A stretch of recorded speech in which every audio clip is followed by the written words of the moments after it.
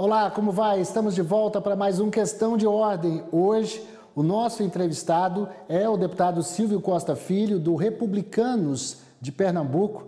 Nosso querido deputado é o relator do projeto que permite a venda direta do etanol das usinas para os postos de combustíveis. Deputado, muito obrigado mais uma vez pela sua participação. Deputado que agora há pouco foi o relator do projeto que deu autonomia ao Banco Central parlamentar atuante do Nordeste, que no meio da pandemia está trabalhando bastante aqui em Brasília. Obrigado pelo, pelo, por ter aceitado o nosso convite, né? Valteno, primeiro eu quero lhe agradecer o privilégio da gente poder conversar um pouco sobre esse momento que vive o Brasil, momento de crise sanitária, de crise econômica.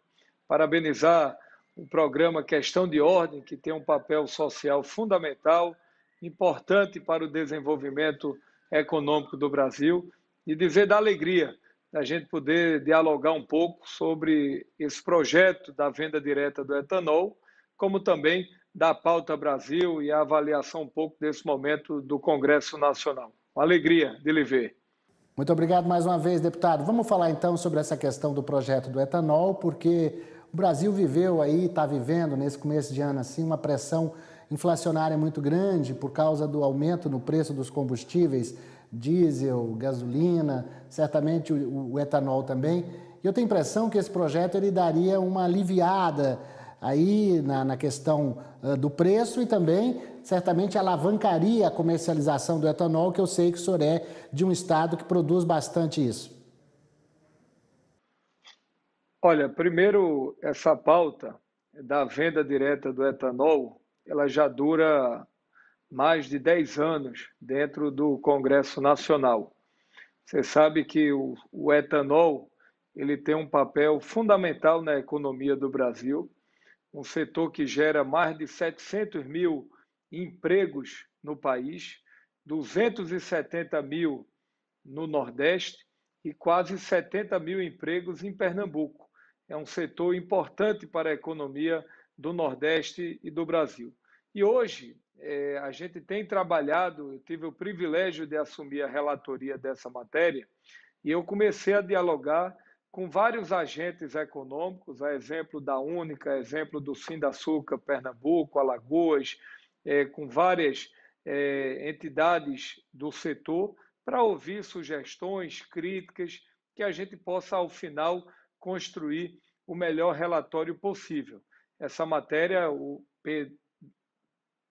projeto de lei, o 978, ele já foi aprovado por unanimidade no Senado Federal e a gente quer poder dar celeridade a essa matéria e agora na primeira quinzena de abril nós votarmos essa matéria no plenário da Câmara Federal. Eu quero votar na CCJ na primeira quinzena e logo, paralelamente, votarmos no plenário da Câmara estou marcado uma reunião com o presidente Arthur Lira, que é aqui do Nordeste também.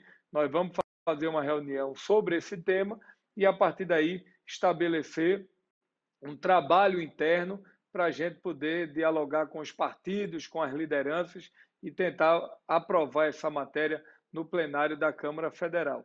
Eu penso que essa venda direta, como você sabe, hoje como é que funciona? O etanol quando é produzido pelas usinas, o álcool, ele vai para as distribuidoras e das distribuidoras segue para os postos de combustível. A gente quer inverter essa lógica, a gente quer simplificar e desburocratizar e eu tenho certeza reduzir despesas. Com isso, a venda direta ele vai sair da usina direto para os postos de combustíveis. E a gente espera com isso uma redução entre 15 e 20 centavos no preço do litro do álcool, além de baixar o preço para poder aumentar o poder de compra da população, isso vai estimular o setor a crescer, se desenvolver, gerando emprego e renda para a população.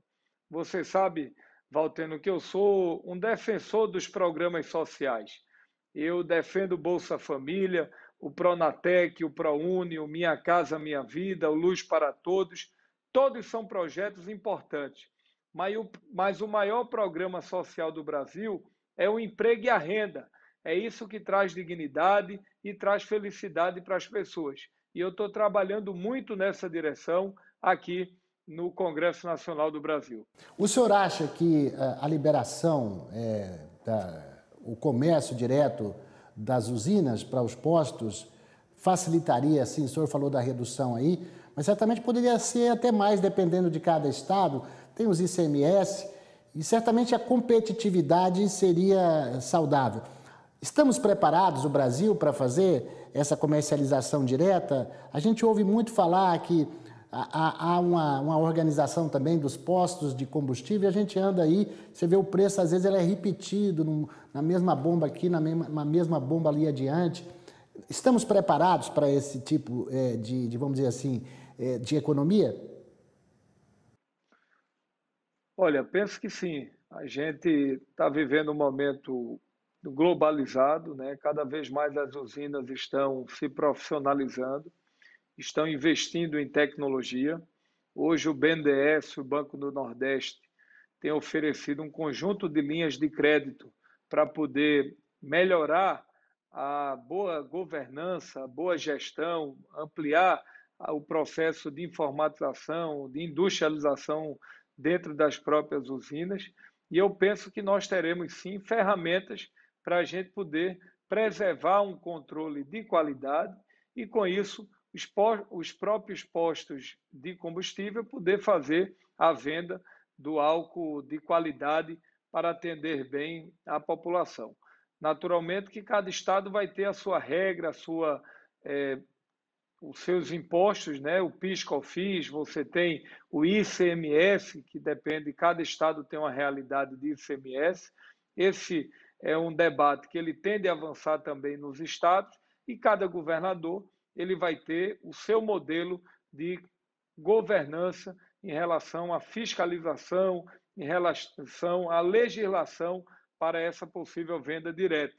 Mas com quem eu dialoguei, entende que nesse momento a venda direta, o próprio presidente Bolsonaro defende isso, ela será um avanço para o Brasil.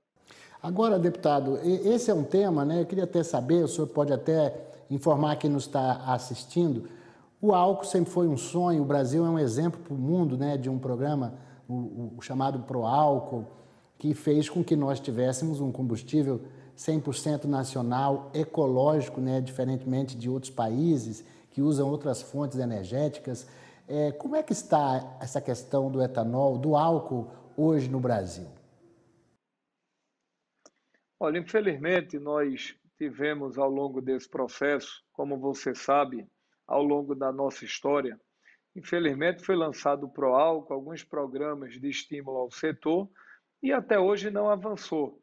Hoje, muitas usinas elas terminaram focando mais na venda direta do açúcar, que hoje até fazem a exportação do açúcar é, brasileiro para o mundo. Agora, eu penso que antes tarde do que nunca. O álcool ela, ele é um biocombustível fundamental. Eu acho que na nossa avaliação o álcool ele tende a ser sem dúvida alguma um combustível é, bem utilizado para o mercado brasileiro e acho que na medida que a gente tem um preço mais barato na bomba será um, um jogo de ganha-ganha na medida que as pessoas perceberem que o preço está mais barato do álcool a tendência é que possa ampliar o consumo dos veículos em relação ao álcool. Isso vai, sem dúvida alguma, estimular o crescimento do setor.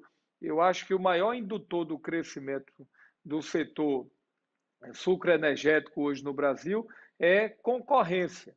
Se de fato a gente conseguir baixar o preço do álcool e a população comprar a ideia, passar a consumir mais, você sabe que isso é um efeito cascata. Não adianta para praticamente estar a gasolina e o álcool com o mesmo preço. Então, culturalmente, a população termina ainda optando pelo, pela gasolina.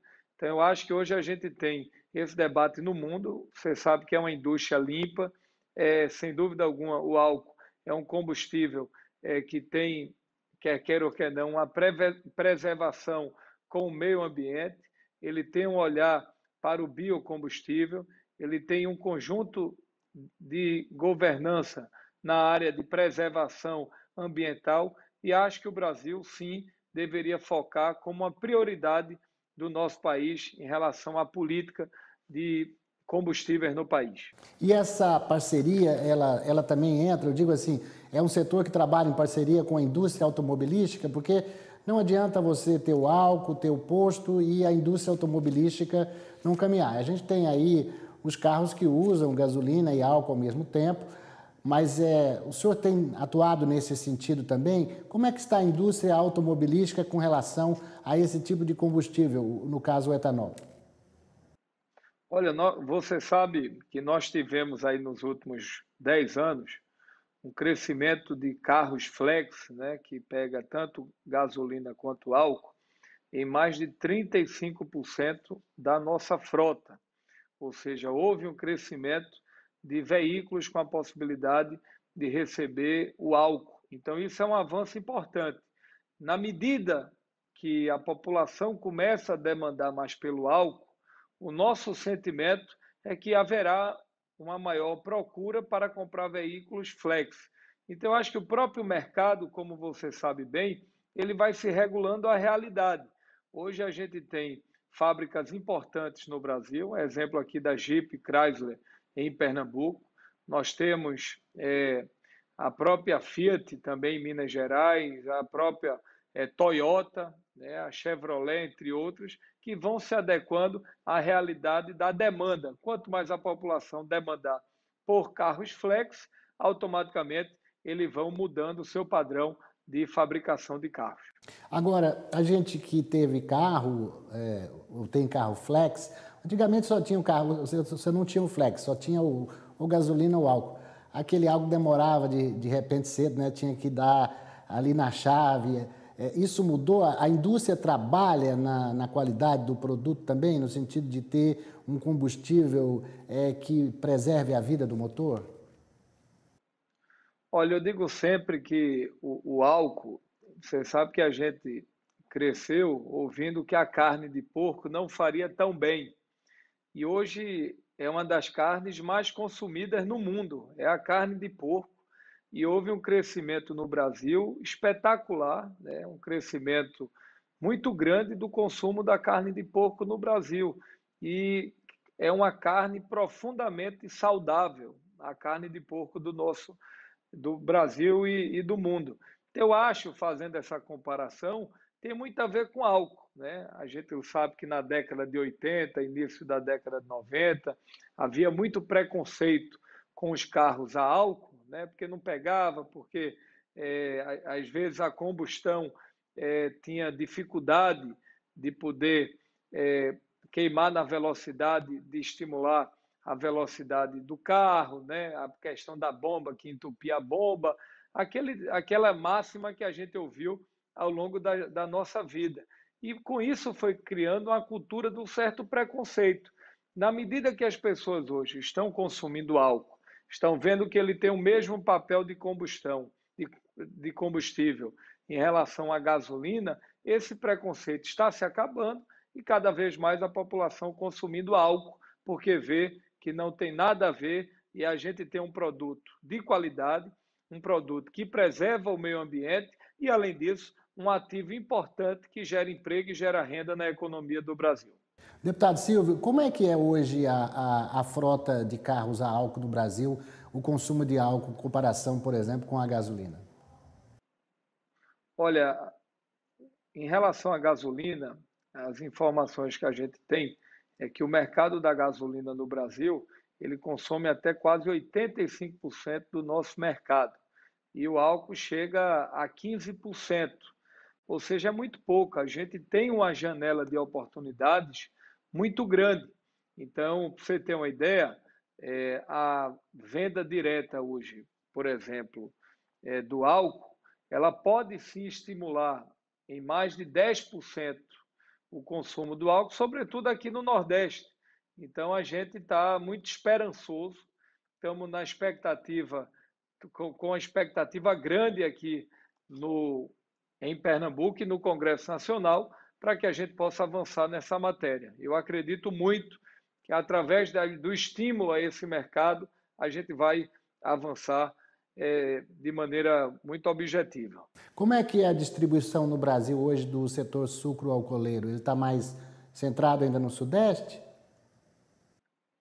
Isso. É, hoje ele corresponde, para você ter uma ideia, é, o mercado hoje, quase 60% do mercado sucroenergético, ele fica entre os estados de São Paulo, Minas Gerais, parte é, de Goiás, né, pedaço é, do norte, mas hoje a grande concentração é no sul e sudeste. E a outra parte fica no nordeste brasileiro. Bom, eu, o senhor aí como relator, o presidente da Câmara de Alagoas, um estado também de, de cana-de-açúcar né, e de, de, de usinas, e então certamente haverá aí a sensibilidade do presidente Arthur Lira para esse tema, eu aposto. Nosso sentimento é esse, eu estou marcado com ele essa reunião, né? ele está muito solidário a essa pauta, é uma demanda antiga que se tem é, no Nordeste, é uma demanda que se tem no Brasil. O próprio presidente Bolsonaro, me parece que também já chegou a conversar com ele, até chegou a declarar isso publicamente, a defesa da venda direta, e eu quero poder, como é o que eu tenho feito, eu tenho dialogado com todos os canais institucionais é, de participação é, popular. Nós estamos ouvindo, colhendo sugestões, críticas, observações, para a gente poder fundamentar esse texto. Nessa reunião, será uma reunião importante que a gente vai poder sentar e fazer, como eu disse no início do programa, o planejamento de como a gente vai trabalhar para aprovar o texto da melhor forma possível. E o nosso intuito é não mexer no relatório para que, a partir da aprovação na Câmara, o presidente possa sancionar. Porque se eu mexer no nosso relatório, ou mexer muito, automaticamente ele volta para o Senado. E a partir daí você perde aí três, quatro, cinco meses. Então a ideia é que a gente possa construir o nosso texto, o nosso relatório, da forma que veio no Senado Federal. Bom, na apresentação eu disse que o senhor é, teve uma vitória importante e acredito que o país também, quando relatou aí o projeto que deu autonomia ao Banco Central. O senhor acha que, é, eu queria que o senhor comentasse um pouquinho sobre isso e se já é possível ver os reflexos dessa medida. Na prática, o Banco Central já estava tendo sua autonomia, mas agora ela está lá no papel, preto no branco. Já dá para sentir a credibilidade, a confiança é, do mercado nessa decisão? Olha, Valteno, como você sabe, é, o debate sobre a autonomia do Banco Central ele durou 27 anos no Brasil, desde a época da implementação do Plano Real, ainda no processo de gestação do Plano Real, é, já havia o debate pela equipe econômica da necessidade de fazer a autonomia do Banco Central. Já passaram-se 27 anos e só agora nós tivemos o privilégio de aprovar o relatório por quase unanimidade é, na Câmara Federal, né, com a maioria dos parlamentares que defenderam a aprovação da autonomia do Banco Central e hoje a autonomia é lei no Brasil. É, isso, sem dúvida alguma, é um sinal fundamental que a gente está dando ao mercado internacional. Para você ter uma ideia, países como a Alemanha, como o México, como os Estados Unidos, como a França, como a Inglaterra, muitos países eh, da OCDE, economias desenvolvidas, hoje têm o seu Banco Central independente. Por quê? Porque, independente do presidente da República, se é de esquerda, se é de direita, de centro, ele vai preservar pelo controle inflacionário, né? pela manutenção do poder de compra do brasileiro. Isso é fundamental, além de poder controlar as taxas de juros, de modo que a gente possa ter taxas equilibradas que possam estimular a economia. E na hora que se estimula a economia, se estimula também a geração de emprego e renda. Então, nós fizemos um amplo debate foi aprovado, como você sabe, sem dúvida alguma, foi um ganho para o Brasil. O ministro Paulo Guedes teve um papel fundamental nessa construção. O presidente Roberto Campos, que vem fazendo um belo trabalho à frente do Banco Central. Você tem uma ideia, entre o governo da presidenta Dilma e do presidente Temer, nós tínhamos naquele momento taxa de juros na ordem de 13,5%, era a taxa Selic. Nós chegamos a ter no final do ano passado 2% de Selic e agora está em 2,75%. Ou seja, na hora que você tem juros mais baratos, você pode captar recursos para poder investir no seu negócio, na sua empresa, investir no agronegócio, nas micro e pequenas empresas, no mercadinho, é, numa empresa da construção civil, e a roda da economia ele vai girando. Então, qualquer presidente da República, a partir do próximo governo, ele terá que conviver com pelo menos dois anos do presidente do Banco Central do ano do governo anterior. Então, isso vai dar planejamento é, para a macroeconomia, para a preservação é, do câmbio, isso dá previsibilidade, porque isso é o que falta ao Brasil. O Brasil sempre teve uma das marcas nossas, foi a da insegurança jurídica, como você sabe. Infelizmente, pelo perfil do presidente Bolsonaro, a gente está tendo agora a insegurança institucional. Isso está afastando investidores. Mas na hora que a gente dá é, governança ao Banco Central, na hora que a gente define um planejamento estratégico para a economia, na hora que a gente tenta avançar na reforma da Previdência que nós votamos, na reforma administrativa, no novo Pacto Federativo, na reforma tributária, eu tenho certeza que a gente pode avançar na retomada da economia do Brasil. Eu acredito muito nisso. E os senhores têm feito um trabalho que eu considero relevante, a questão do Fundeb, do marco do saneamento básico, essas questões, elas sinalizam, principalmente a do marco do saneamento básico, para o mundo, para as empresas, para os negócios, né? a, a melhoria da qualidade de vida nas cidades e também o investimento das empresas nesse setor, é, o Estado aí compartilhando, dividindo com a iniciativa privada nessas parcerias aí, um tema fundamental, importante, principalmente para a sua região aí no Nordeste, que é também o saneamento básico. Olha, você sabe que nós temos um potencial ímpar na geração de riquezas no Brasil você ter uma ideia, eu conversando com o presidente Roberto Campos, do Banco Central, e ele me colocava: olha, Silvio, o mundo tem quase 15 trilhões de reais, é, perdão, 15 trilhões de dólares à procura de investimentos, ou seja, 15 trilhões de reais a juros negativos. O cidadão deixa lá um milhão de reais, no final do ano tem 999,9 mil reais. Ou seja, o dinheiro não está rendendo. O mundo está à procura de investimentos. Então, o Brasil, sem dúvida alguma, é uma janela de oportunidades. Hoje, a gente tem o agronegócio, que tem tido um papel fundamental na balança comercial. Ele precisa ser preservado, precisa ter um olhar é, com atenção dos governantes. Cada vez mais ele precisa ser ampliado no Brasil, né? porque ele tem um papel fundamental na nossa balança comercial. Além dos milhões de empregos que geram no Brasil, a gente tem a agenda do desenvolvimento, que é a agenda dos investimentos em portos, aeroportos, rodovias, infraestrutura. Como você tão bem disse, investimentos em petróleo e gás.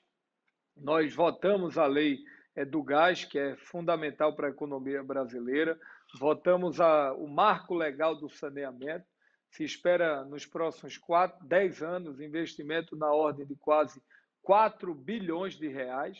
Então, isso, sem dúvida alguma, vai ajudar na retomada do crescimento do Brasil. O que o presidente Bolsonaro ele precisa fazer é começar a dialogar com os investidores internacionais. Ele precisa mostrar governança, mostrar o que está sendo feito na área econômica, quais são as bases da agenda de, de ajuste fiscal e de retomada de crescimento? Quais são as contrapartidas ambientais que ele pode dar ao mercado internacional? Eu acho que o presidente ele tem que sair dessa cadeira, sair dessa briga, desse tensionamento e poder tentar ampliar e melhorar a imagem do Brasil no mercado internacional, porque com isso eu tenho certeza que o Brasil pode trazer investimentos. Eu confesso a você que eu estou preocupado, muito preocupado com a economia brasileira. Você sabe que o Brasil tem um orçamento de 4,3 trilhões de reais. Quando tira 1,6 de rolagem da dívida, né, de pagamento dos juros, fica 2,7 é, trilhões de reais. Desses 2,7 trilhões, sobra pouco mais de 100 bilhões de reais para despesas discricionárias, ou seja, é o que o governo vai poder gastar em infraestrutura e gastar como quiser. Isso dá menos de 4% da nossa receita, enquanto os, os países da OCDE investem mais de 8% da receita em infraestrutura para a retomada do investimento público no, no, nos países. Então, essa é uma preocupação que a gente tem. Então, na situação desses próximos três anos, só nos resta um caminho: é fazer o ajuste fiscal né, para sobrar mais dinheiro para o investimento, como também fazer uma forte agenda na captação de recursos nacionais e internacionais para que ele venha investir no Brasil. Deputado Silvio Costa Filho, foi um prazer enorme falar com o senhor mais uma vez. Obrigado a você que acompanhou mais esse questão de ordem. Nós conversamos aqui com o deputado Silvio Costa Filho, que falou sobre o projeto dele que libera a venda de etanol das usinas diretamente para os postos. Muito obrigado e até uma próxima oportunidade.